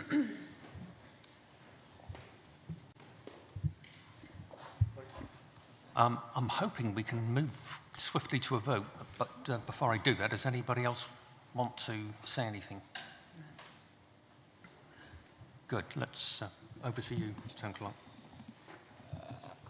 Uh, thank you, Chairman. Yes, so we'll move uh, to the, the formal vote uh, now. Just uh, for clarity, uh, members, we're voting on uh, item four uh, and the, the recommendations, which are mainly uh, on page 41 of the main agenda pack, but also uh, with the relevant amendments set out in the addenda, which includes uh, an additional condition in the first addendum and uh, an amendment to the obligations in the second uh, addendum.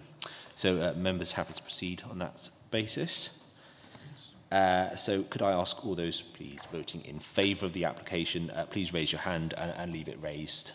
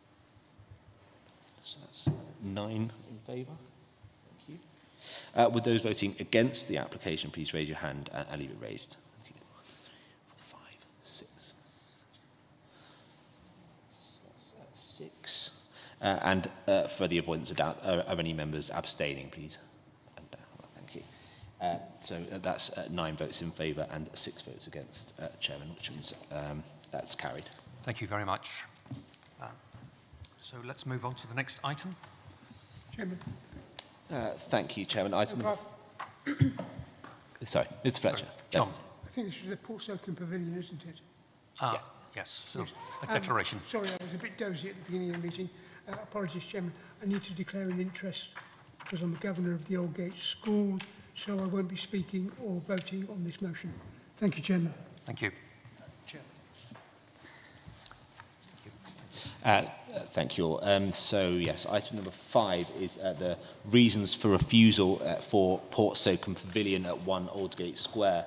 Uh, it's a report of the Chief Planning Officer and Development Director and the Comptroller and City Solicitor for decision at page 333. Uh, and uh, just to advise uh, members that only members who took part in the original debate and vote on this item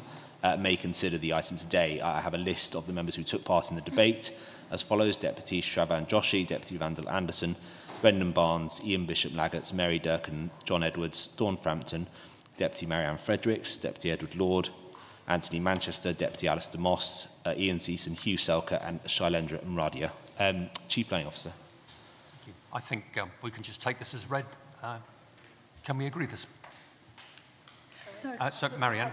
Hmm? Yeah.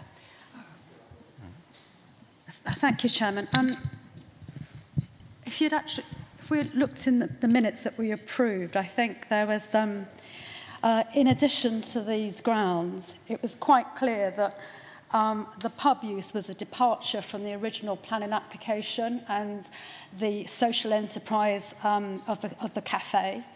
And, and so I wondered whether or not we could actually um, incorporate that. And I did notice that um, uh, one of the conditions uh, that was suggested for item four was to ensure that the approved drawings and the uses didn't, didn't change, didn't morph. I think that was the point that um, was made earlier about uh, removing public benefits and the concerns that we grant things and then they can morph. Um, and it made it clear that that condition was to ensure the development didn't give rise to uh, environmental impacts that were in excess or different to those assessed in the application and the public benefits. Uh, and therefore, I think it's important that we, we do reference the fact that the pub use was completely alien to the original planning application and, um, and therefore had a detrimental effect on the environment of the whole square. Um, and if you, if you looked at the minutes, it was made clear that, you know, I think Mr Lord made the point that had we been told it was going to be a pub at the outset, we wouldn't have granted it as a pub. Um, and therefore, I, I personally would like to see that uh, firmed up. It's not just the pub use, it's the fact that it's, a, it's totally alien to the original application. Uh, it has, it's a departure, it has a detrimental impact to the uh, environment of the square um, uh, be because of its change. Thank you. Um, somebody from planning to respond to that? um, yes, I think it is acknowledged that it is a different use, and that's why the planning application requires the, the change of use that has been refused by members at the previous committee. Um, the ground of refusal that has been drafted for approval today uh, reflects that it is a change of use and that change of use is unacceptable for the reasons set out. The original planning permission, uh, if I recollect properly is didn't uh, was for a restaurant. Uh, it didn't have a conditional or legal agreement specifying social enterprise use within that. And so we need to draft a legally sound ground of refusal that this is an unacceptable change of use from one use, a restaurant, to another, a pub, for the grounds that set out, the impact on the public open space and the broad definition of uh, the uh, detriment, imp detrimental impact, apologies, on amenity do encompass everything that has just been referenced, and officers are confident that that would be arguable in an appeal should it, should it come forward. I it should be reference the fact it, it was supposed to be a social enterprise. Uh, the cafe use was supposed to be a social enterprise, i.e. giving something back to the community uh, sorry, Chair, if I may, uh, as I said, the original planning application, that may well have been the, the wider corporate intention, but the planning permission did not uh, restrict through condition or obligation it, as a social enterprise. It was a restaurant. If we were to insert that within the ground of refusal and an appeal was to be made by the applicant, uh, we consider as officers that would amount to a liability for a potential award of costs. Thank you. Uh, Alistair. Um, can I just ask, I, I was kind of shot down uh, by the Chief Planning Officer quite rightly in the end of the, on the minutes kind of trying to throw in other things like improving open spaces, biodiversity and activity and things like that, because I agree we should really try and keep this as tight as possible, particularly on the cost point you said. One thing that was mentioned, speaking up on what Marianne was saying, was the proximity to the school as well. And that, uh, is it officers' view that extending beyond the detrimental, uh, impact on the amenity and character of the public open space to the function of the school or something like that, because we did hear from the school from memory about that, would be a step too far. Jim. Uh, yes, thank you. Uh, the opening line does reference the school. uh, by reason of its location within the public open space yeah. uh, adjacent to the east entrance of the Aldgate School and the west side of St Boltoff's Church, Aldgate. Yeah. So we are saying that the, the overall impacts within that location, those proximities, is unacceptable because, for that very reason. I do apologise. I'll read properly next time. so can we agree the wording as it stands? Thank you. Tim Clark. Uh, thank you, uh, Chair. With that uh, having been agreed, that takes us then to uh, item six, uh, which uh, was provided in the information pack. Uh, that's uh, valid uh, planning applications received by the Department of the Built Environment. Uh, that was uh, asterisked and there were no uh, comments or questions in advance. Um, but was that on item seven, Alderwoman? Actually, and seven. Okay. Um, we can do them on under seven or now. Okay. Sure. Yeah. Um, Sorry, this, this is about the application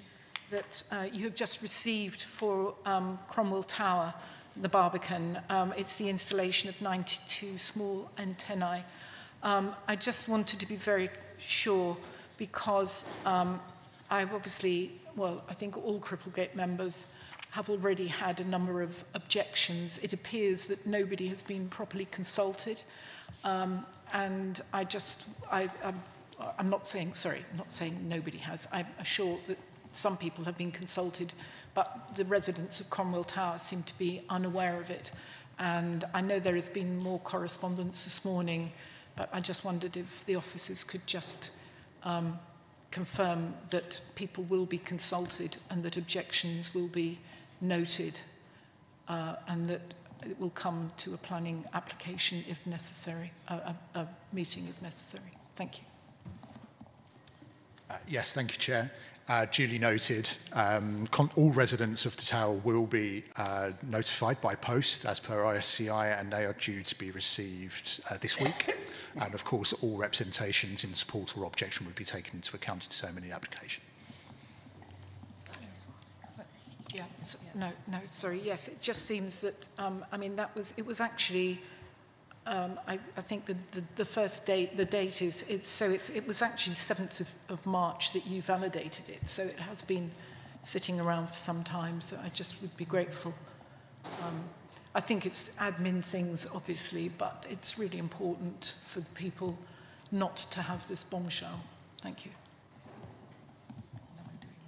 Uh, yes, just to clarify, the, the validation date is the day after the receipt of the application. So if there has been a period of time uh, for some admin delay, for instance, I can't speculate on this particular application, but it, it would be backdated to the day after receipt of the application. So that would explain the, the uh, discrepancies on the date.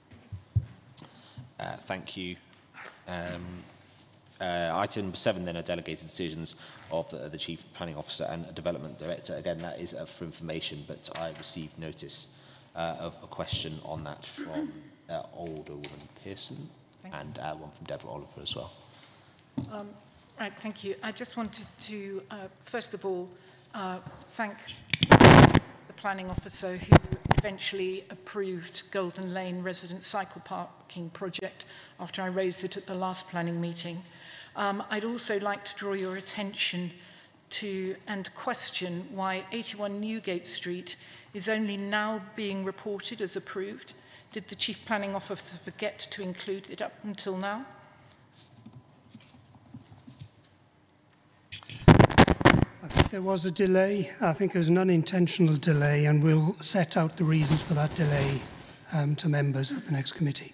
But um, there was certainly um, it, it ought to have been brought, and including the delegated list area. We think it was down to an admin error where the wrong box was ticked on our uniform computer system, but we'll, um, we'll have the full explanation by next committee.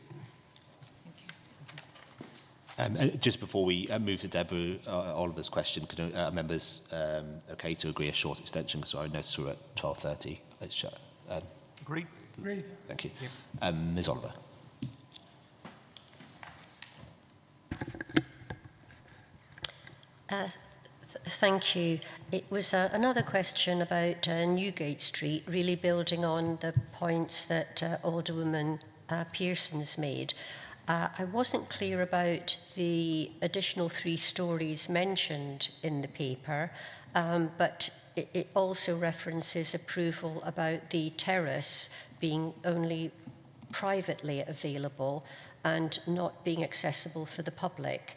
So I really wanted to query whether the additional height requirement has been agreed in the past by the subcommittee and really a supplementary to it um, is the subcommittee able to discuss that the uh, terrace is not accessible for the public because I do think that is detrimental. Thank you.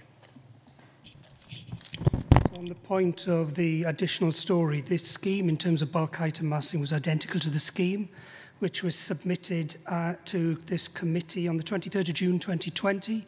Um, the impact of the bulk item massing was discussed at that committee and that was approved unanimously. So that has been subject to committee scrutiny. Um, in terms of the um, public terrace, I did make a full response to this at the previous committee. Um, the, um, it, it was within a amendments to a scheme the public access to the terrace was not required for a policy reason. It was a nice to have. Unfortunately, that fell away. Um, neither was it required to mitigate heritage harm. Um, so the, the, the relevant paragraph of uh, the NPPF wasn't action. So um,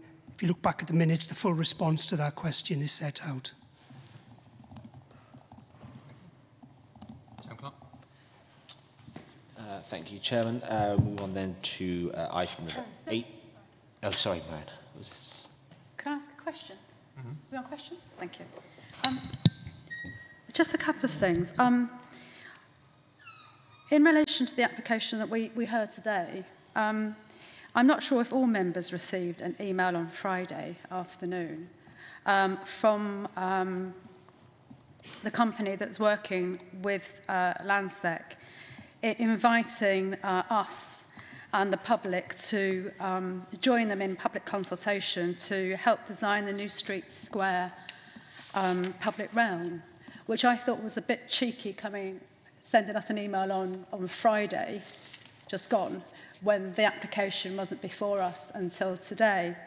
And, and that brings me on to the, the other point that um, was reported in, in City Matter um, about the corporation in regard with London or West, um, telling sorry. the sorry, consultees no. that Marianne, um, we're going off piece. We're going, sorry, we're going off piste here.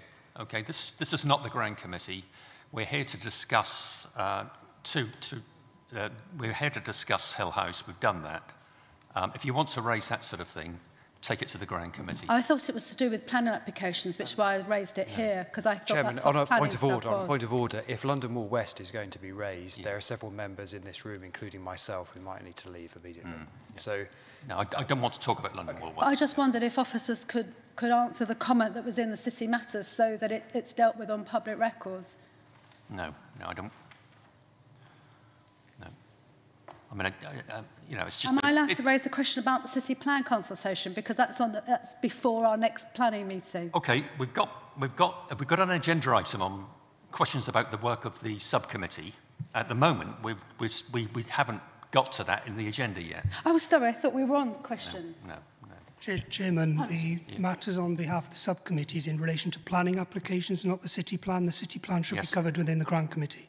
Thank you. Yeah.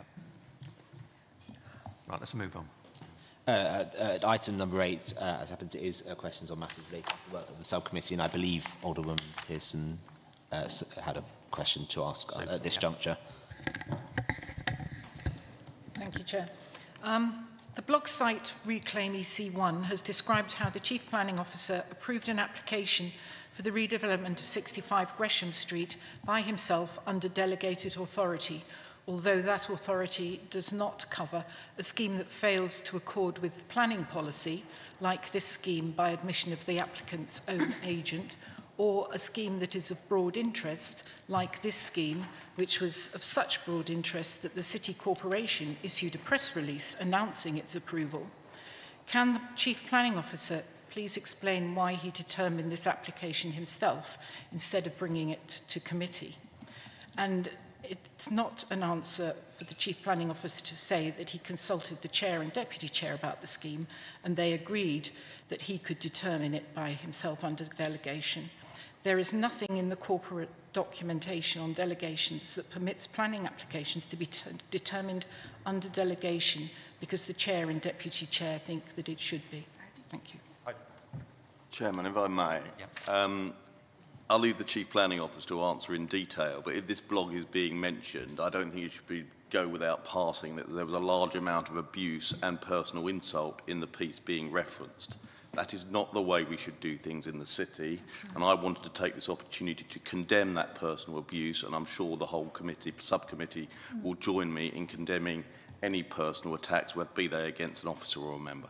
Thanks, Charles. Yes. Hand over to Quinn. Can I just, on a point of order, also say that the information contained in that website is abusive towards officers as well. And as Chairman of Corporate Services, I think it's perfectly within the remit of any officer not to engage in any discussion regarding that with that website. But obviously, it's within the remit of the Chief Planning Officer to respond as he wishes or not. Chief Planning Officer. Firstly, thank you, uh, Sue Pearson, for the forewarning of the question, and I don't disagree with um, what's been said about the, the, the blog. Um, So as members are aware, this is in relation to um, the, the, the adjoining site. Paragraph 167 of the scheme of delegation was adopted by the Court of Common Council. It sets out parameters where planning applications can be dealt with under delegated authority. There are three criteria. The first is the application is in accordance with policy. You mentioned a third party. I cannot comment on, a, uh, on any suggestions from third parties, but the delegated officer report on the planning application is readily available on the planning portal. It's a 25-page, very comprehensive report, and it does not identify policy non-compliance issues with the scheme. Therefore, it is a policy compliant scheme in line with the criteria, the first criteria of the scheme of delegation. The second criteria is the number of objections received, which should be no more than nine. We received a single objection um, on, on behalf uh, uh, uh, as part of this scheme, so therefore that's in line with the scheme of delegation. The third criteria is that the application is not of broad interest. Clearly, the definition of broad interest is more of a matter of judgment, which we exercise. In this particular application, the scheme was a light-touch re retrofitting, a uh, retrofitting of an existing 11-storey building and adding three storeys. As schemes go, as schemes go, this is pretty typical of the genre of applications which make up most of the city schemes. There were no wider interests. There were no breaches in things like St Paul's Heights um, or protective vistas and, and so on. So um, I, I'm, I'm taking on your point. This was done, I will take full ownership of that decision. This was done within the scheme of delegation that I exercised, um, and at no point did um, I ask for authorisation from either the chairman or the deputy chairman. In terms of the press release on the planning permission and the suggestion that this is evidence of broader interest, it was, it's worth considering that this, this, this scheme was worth highlighting Within the context of the emerging retrofit first local plan policy, the utilisation of the carbon options advice note in the application process, and really to send an external message that despite contrary viewpoints, the city is proud of its retrofitting schemes um, in the pipeline, which often do not receive the media coverage they deserve. That was the rationale for that um, communications piece, not as evidence of broader interest. But again, I would reiterate on your final point, I take full ownership of the decision to deal with this scheme under delegated authority. Thank you. Um, I'd just like to say a few words. I mean, good, good planning authorities uh, practice extensive delegated authority to keep things moving. Over 90% of our uh, applications are dealt with on delegated authority. If that changed significantly, the planning system would grind to a halt. Uh, In my view, if there are a small number or no objections to applications, and officers have carefully scrutinised them and shaped them to be acceptable and policy compliant, surely this is a positive. We have more than enough applications coming to uh, our committee already, and our planning team is highly competent and they don't need to be micromanaged by members. And uh, that's my view, and I hope that most of the committee support me. Agreed. Yep. Yeah. Thank you. Any other questions? Uh, Ian, and then Marianne. Sorry, ju just a, a small follow-on from uh, from this question. The mm. the uh, planning application includes the stopping up of the road, as far as I remember in the presentation. Mm. was that separately considered, or was that also delegated permission? Uh, yes, Alderman Bree will be subject to a Section 278 agreement, which is secured uh, in the usual way through the planning permission, uh, and that will see uh, through the, as you'll see on the on the portal, illustrative proposals for a range of public realm enhancements to Alderman Bree, which officers considered to be of great benefit and uh, will great enhance the, uh, the environment in the city and around the Guildhall. However, um, it, there is no stopping up proposed. It's likely to be uh, a managed closure, timed closures, that will be uh, fleshed out in greater detail through the 278 process. Presumably there will have to be some sort of statutory process for that in terms of traffic orders or uh, yes, our yep. highways and transport colleagues will undertake yep. any statutory duties yep. in regards to publicity or any other orders that are required to bring forward any uh, 278 works. Yep. Uh, Marion. Okay. Sorry, thank you. So if I just go back to the My London article that was published on Friday, um, it suggests that um, regarding London Moor West, um, the corporation issued a uh, letter. Uh, Chairman, can I just say second. a point of order again? I've said it once, I'll say it again. Can if I London Wall is going to be mentioned correct, again in this meeting, it will force me out of this meeting, and I think others too who are precluded according to legal advice. So I'd ask you to ask the member not to mention London Wall West again.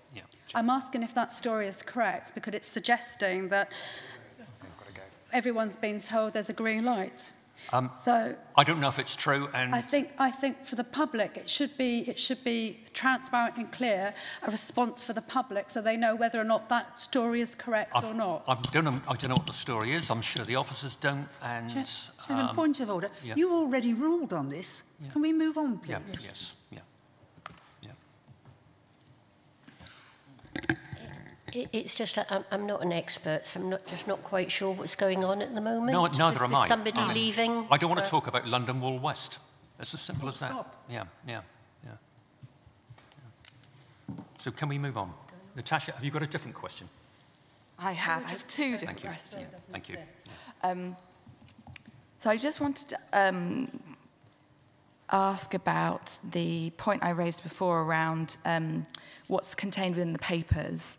Um, I think it would really help, I hope it would really help all members if we had clarity as to the approach taken, because it, it, I, um, my recollection, I, I agree with Marianne, that there has been a change. I, I, I remember seeing Historic England documents in here before, and I think it would really help us, not just at the next planning application subcommittee to have consultees included, but to have perhaps the next planning transportation, a very brief understanding, could be by way of email in advance, of what is proposed to be included, because um, we make, there's, there's, there's perhaps, uh, it's perhaps a moment to look at what's going to be most helpful to members. I'm very grateful to officers who've started to include as a table at the front information. That's really valuable. And it seems to me that things that are referred to repeatedly, like the environmental statement, the consultee comments where they object or where they raise concerns, as opposed to Tower, Tower Hamlet saying, we have no comment. Those clearly aren't going to help us, but it would help us to have ones which are going to be summarised herein and where there's substantive comments made. So it might be worth just having um, an, an email letting us know as members what's proposed to be included or it to be included as a brief agenda item in planning transportation next time because it will really help us. I think we as members know when we look at these, we sometimes go through and go, oh, I, I wonder where that document is. And there are probably a three or four different types of document that we all as members think, oh, well, that would help me, and that wouldn't. So having that conversation as a membership might be quite helpful. Um, so that was my first question and request, whether or not that's something that we could... Well, let's, let's deal with that now. Um, we, I mean, we can't decide that, but we could uh, pass that on to the Grand Committee Well, no, I mean, we can commit to include every representation. I think it has to be everything, mm. even the no comments, to be absolutely clear, so we can commit to adding those in the background papers in any planning application coming for you. Chairman. Yes, John. Uh, Chairman, some of the papers we get are bigger than War and Peace already.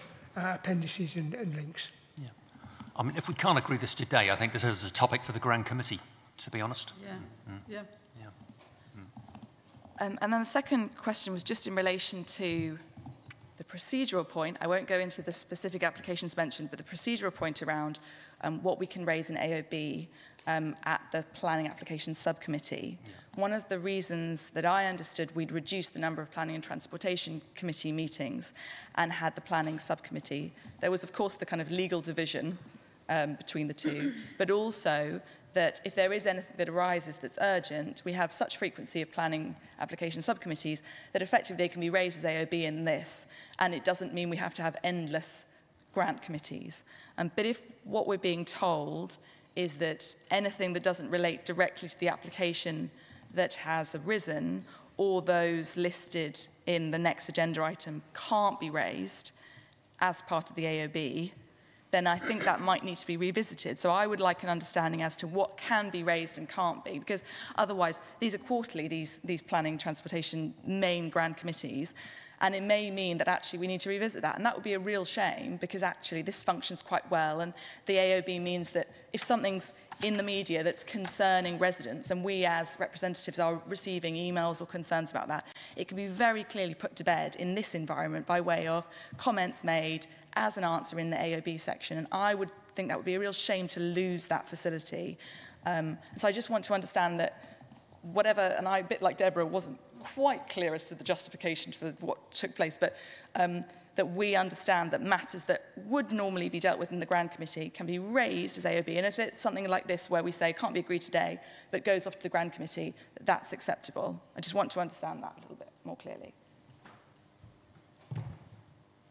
Well, the, the relevant heading of the agenda item is questions on matters relating to the work of this subcommittee. This subcommittee is solely involved in Planning Application Subcommittee. Clearly, that's a matter, matter for members, but that's what's set out. That's my understanding too. Um, mm. so can I clarify that given every single application we receive makes reference to the local plan and the emerging plan and talks about how much weight that should be given, like questions that relate to the plan, the emerging plan, particularly if there's a, or if there are consultations coming down the track on things, can be raised by way of AOB. I think this is a matter for Planning and Transportation Committee and the governance of this. I mean, I understand the point. I understand that everything has a relevance in a planning application. Um, but the agenda item is specifically in relation to dealing with planning applications. So I, I would suggest that this is a matter the Planning and Transportation Committee, Grant Committee needs to consider and decide on. So something else for the Grand Committee to discuss at its next meeting? Yes.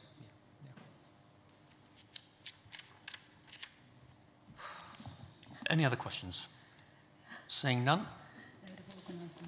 Uh, well, the, the last item, uh, Chairman, is, is any other business uh, that you consider to be urgent? I have none. Um, that's, that's uh, Thank you very much. Thank you.